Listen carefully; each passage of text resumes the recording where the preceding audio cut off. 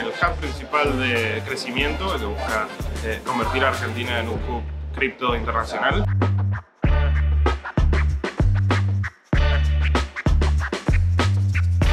Somos uno de los pocos países reconocidos en el mundo por la innovación que hacemos, los unicornios que lanzamos con nuestro ingenio argentino.